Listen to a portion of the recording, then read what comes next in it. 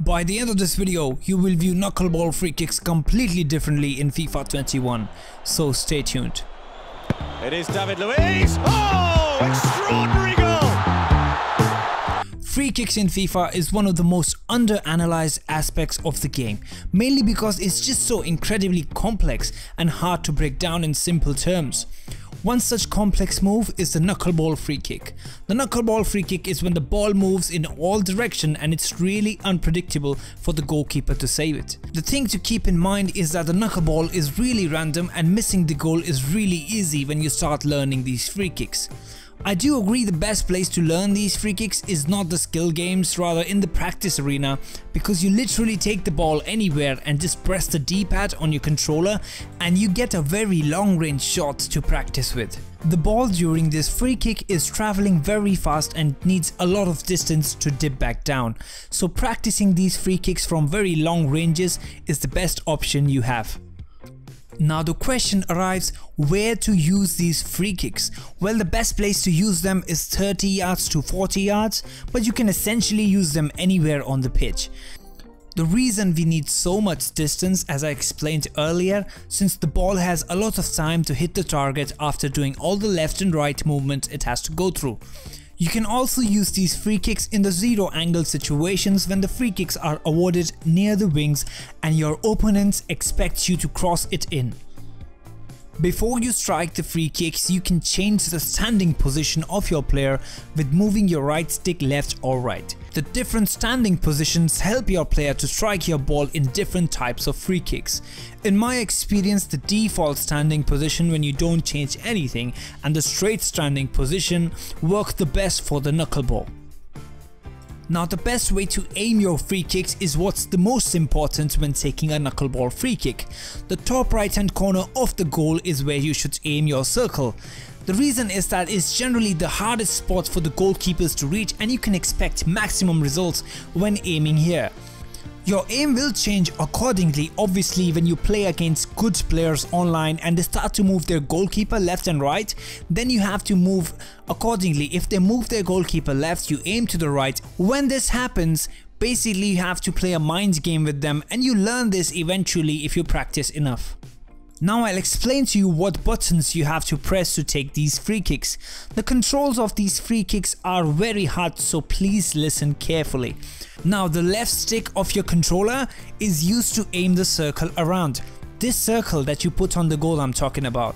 As soon as you put the circle on the top right corner, immediately press the shoot button to power up your shot. What this does is it locks your circle into position and it never moves from there. Now when you power up the shot, your player will start moving towards the ball and what you have to do quickly is flick your right stick down, then up and then flick it back down. When you do that you will see your circle do this animation. If your circle looks like this in the end of everything that means you have done everything right and remember a white circle with a small plus sign in the middle means that it's the knuckleball free kick.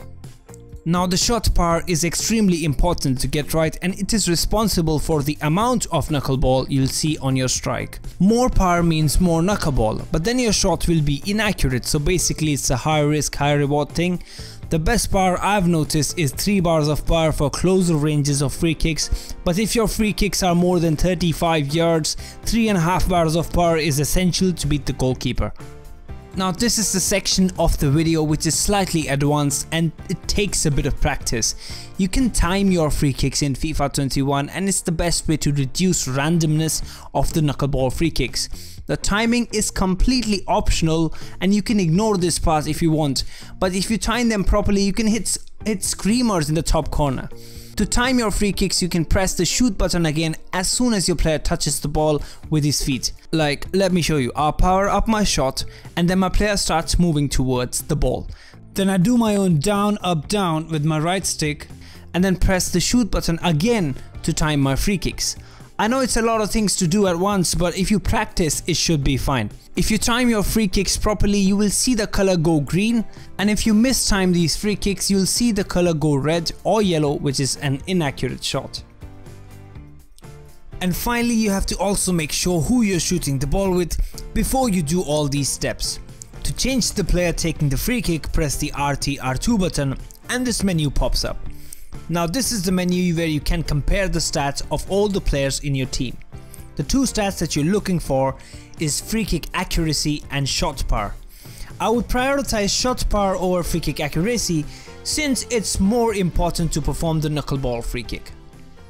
Now let's look at some examples of the knuckleball free kicks and how I perform them.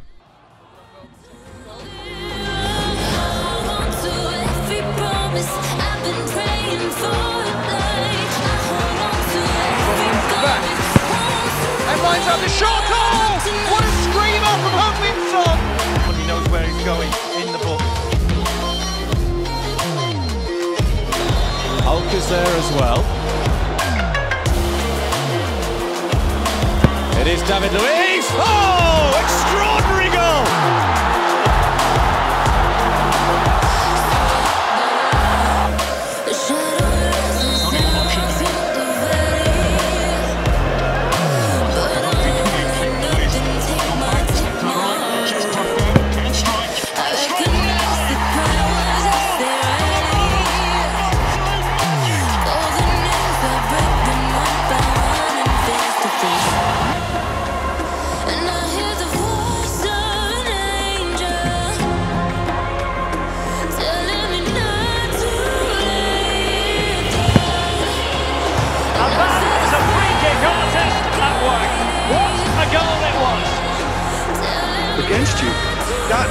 Introduces drama, which creates great excitement, and ultimately, you get a much more entertaining show.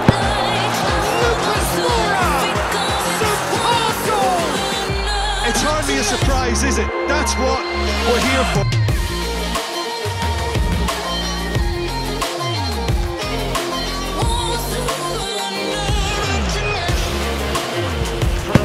Will go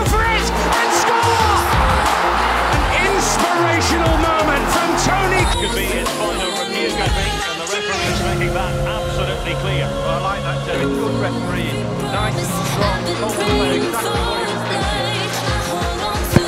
Balotelli and Mario Balotelli. I think this video should have explained all your doubts regarding the knuckleball free kick in FIFA 21 and I want you guys to go ahead and give it a try yourself, see if you can even hit the target as first. As I said earlier, these free kicks are very hard to score so I recommend just have some fun while practicing them.